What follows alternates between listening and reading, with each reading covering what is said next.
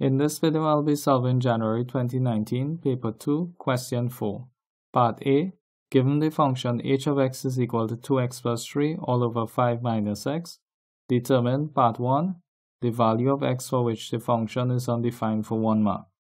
Now, h of x is undefined when its denominator is equal to 0, since you cannot divide any quantity by 0. So, I'll take the denominator here, 5 minus x, and place it equal to 0 and I want to make x the subject of the formula.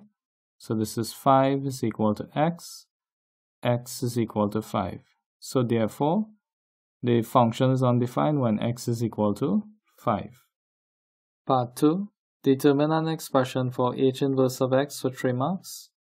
Now they gave us here that h of x is equal to 2x plus 3 all over 5 minus x. So I'll write here h of x is equal to 2x plus 3 all over 5 minus x. So I'll say here that let h of x be equal to y. So y is equal to 2x plus 3 all over 5 minus x. Now I want to interchange x and y.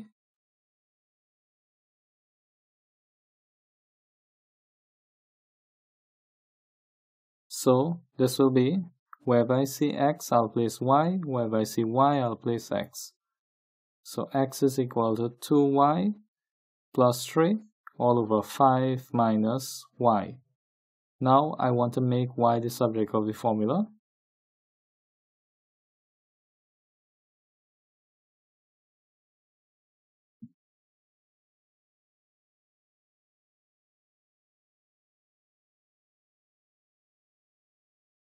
So I'll place x over 1 is equal to 2y plus 3 all over 5 minus y. Drawing my arrows here. x multiplied by 5 minus y. This becomes here x open brackets 5 minus y is equal to 1 multiplied by anything is itself. So this is 2y plus 3 expanding these brackets by the distributive law here. This is 5x minus xy is equal to 2y plus 3. Now I want to take this minus xy to the right hand side and take this positive 3 to the left hand side. So this becomes here 5x minus 3 is equal to 2y plus xy. So 5x minus 3 is equal to, and I want to factorize out y here.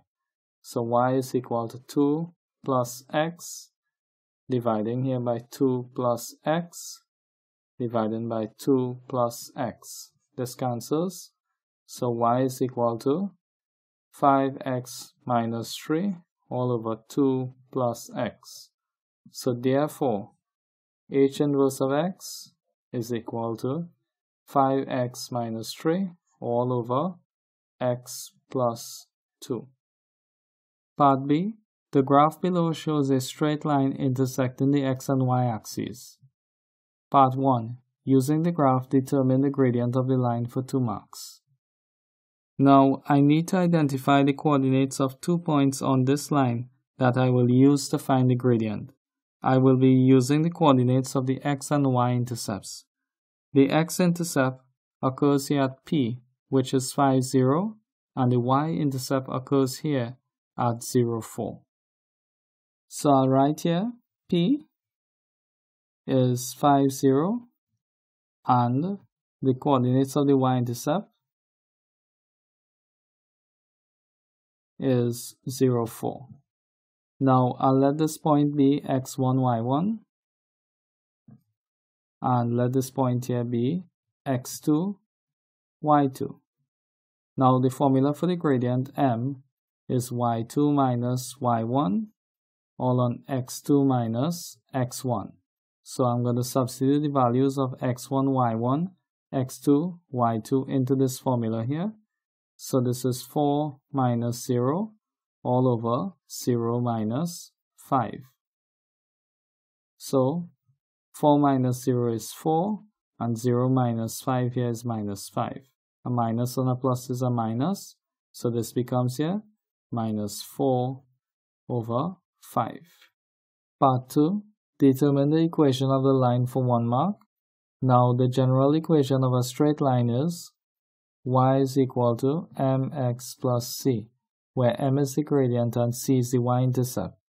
Now from b part 1, we identify the gradient to be minus 4 over 5. We also identify the coordinates of the y-intercept, which is 0, 4. This means that when x is 0, y is equal to 4. So c here is equal to 4. So I'll write here m is equal to minus 4 over 5 and c here is equal to 4. Substituting the values of m and c into the general form of the equation of a line, we have here y is equal to minus 4 over 5x plus 4. Part 3. Determine the equation of the perpendicular line that passes through P for 2 marks. Now for perpendicular lines, the product of their gradients is minus 1. This means that m1 multiplied by m2 is equal to minus 1. And m1, which is the gradient of the first line, is equal to minus 4 over 5. Now I want to find the gradient of the perpendicular line m2, so I need to make m2 the subject of the formula.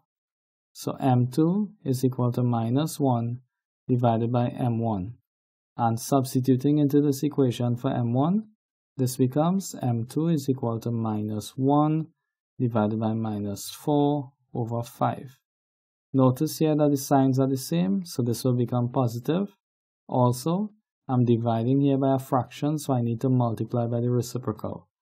So m2 is equal to 1 multiplied by 5 over 4.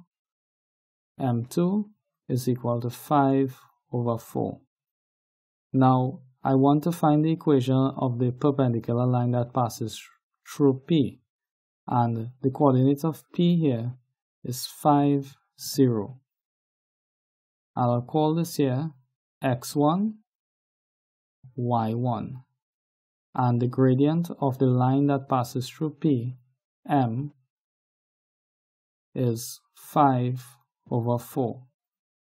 And I will be using the point gradient form of the equation of the line to find the equation of the perpendicular line that passes through P. So I'll write here y minus y1 is equal to m by x minus x1. Substituting into this equation here, x1, y1, and m, this becomes here y minus 0 is equal to 5 over 4, open brackets here, x minus 5 y minus 0 is y. This is equal to 5 over 4 multiplied by x here is 5 over 4x. 5 multiplied by minus 5 here is minus 25 over 4.